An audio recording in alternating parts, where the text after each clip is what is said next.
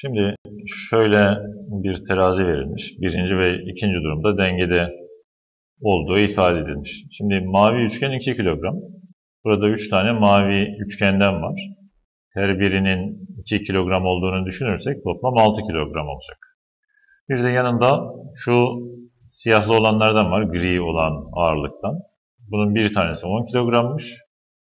İki tane olduğuna göre bunların toplamı da 20 kilogram olacak. Yani şu taraftaki, sağ taraftaki bölüm 26 kilogram.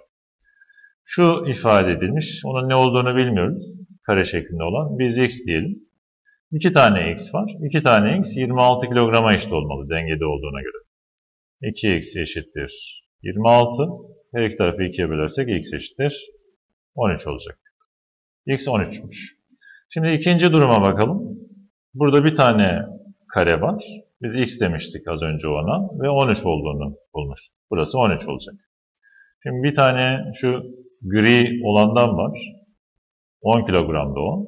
Bir tane mavi üçgenden var. O 2 kilogramdı. Şu yeşili bilmiyoruz. Ona da y diyelim. Sol taraf 13. Sağ taraf 10 artı 2 artı y. Burası 12. Sola atıp 13'ten çıkarırsak 1 çıkacak.